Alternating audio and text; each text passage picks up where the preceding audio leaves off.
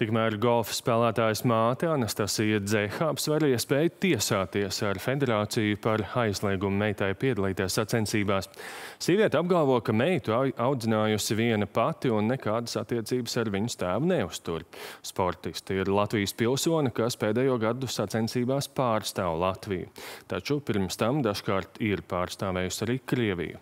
Lūk fragments no sarunas ar golfa spēlētājas māti. Man nav ko slēpt. Es teicu, jā.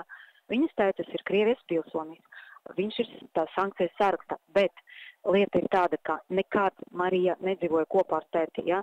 Saruna man ir pierakstīta, ja? un man tur skaidri ir uh, dzirdams to, ka viņa teica, ka uh, Marijas ģimene ir uh, sankciju sarakstā, bet viņas ģimene, es, tas esmu es, ja, un es neesmu sankciju sarakstā.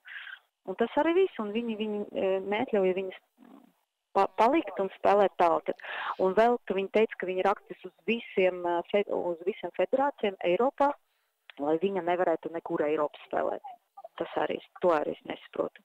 Tas būtu saprotams, ja viņa būtu Krievijas pilsone vai kaut kas tāds. Jā. Bet kāpēc viņai jā. parādās tas Krievijas karodziņš Latvijas rangā klāt? Varētu? Es nezinu, kāpēc parādās, jo nē, mm. es nezinu Latvijas ranga patiesībā, kura vieta viņa ir un kāpēc viņa tur parādās. Bet viņa nekad nav no Krievijas startējusi, no Krievijas? Uh, viņa kādu laiku spēlēja viena turnīrā, uh, bet tas bija agrāk, kad viņa vēl bija mazākā. Bet uh, visus pēdējos gadus viņa spēlē tikai par Latviju. Bet ir tā, ka dažādus turnīrus viņi reģistrē gan tā, gan tā.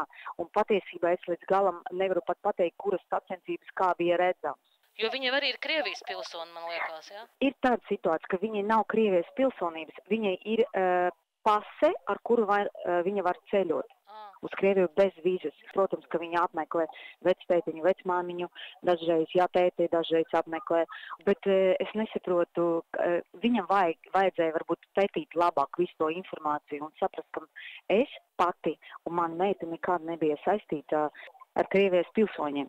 Man šī visa situācija ļoti nepatīk.